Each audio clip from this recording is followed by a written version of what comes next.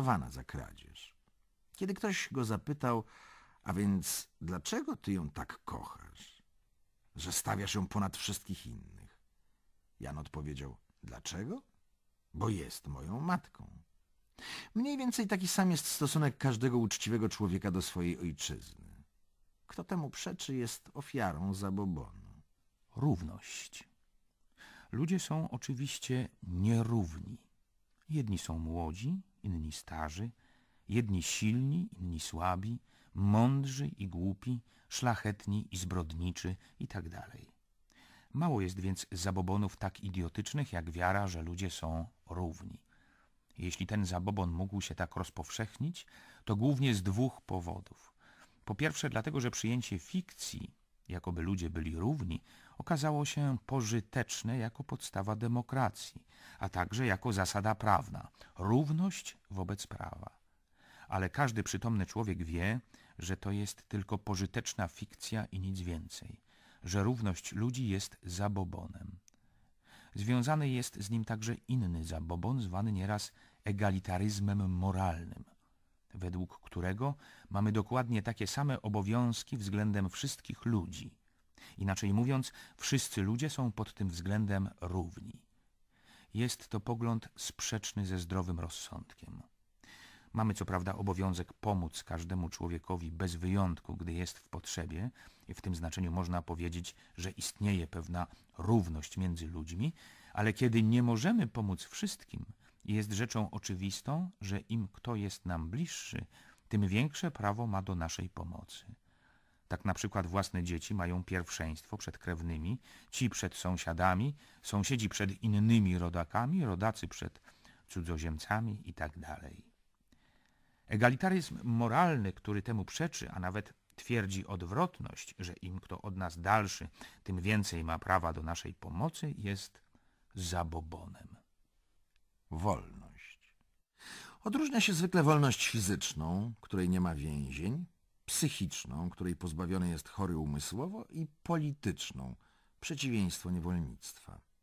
Wolności dotyczą rozmaite zabobony. Pierwszy.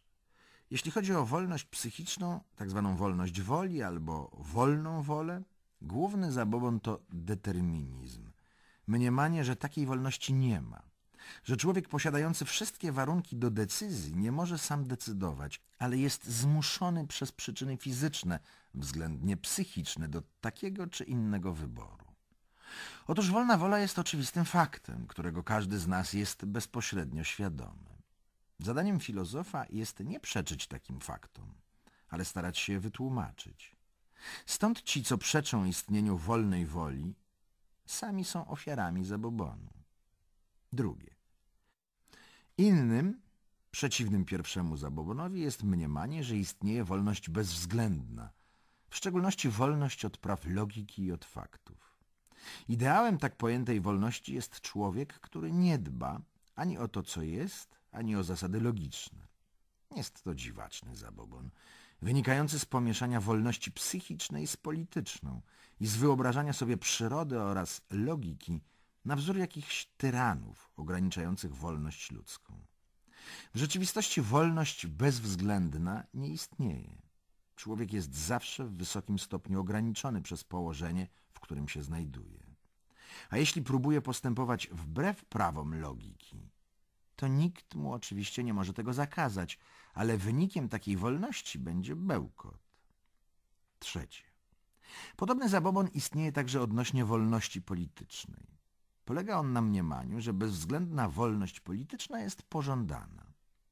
W rzeczywistości taka wolność nie jest możliwa, gdyż każde życie w społeczeństwie wyznacza granice wolności. Czwarte. W szczególności mniema się nieraz, że prawdziwa wolność polega na niezależności od zasad moralnych. Jest to także zabobon, bo zasady moralne nie są autorytetem innego człowieka, ale zespołem norm przyjętych przez daną jednostkę świadomie, dlatego że widzi ich słuszność. Ideał rzekomej wolności od zasad moralnych jest więc zabobonem. Ten zabobon występuje szczególnie często, gdy chodzi o naukę i sztukę. Twierdzi się, że naukowiec i podobnie artysta powinni powodować się wyłącznie swoimi celami. a więc naukowiec postępem wiedzy, a artysta wyrażeniem swoich ideałów bez względu na jakiekolwiek zasady moralne. Ze stanowiska tego zabobonu lekarze niemieccy przeprowadzający doświadczenia na więźniach obozów koncentracyjnych mieli do tego pełne prawo, jako że nauka powinna być wolna od przepisów moralnych. Zabobonność i szkodliwość tak pojętej wolności jest oczywista.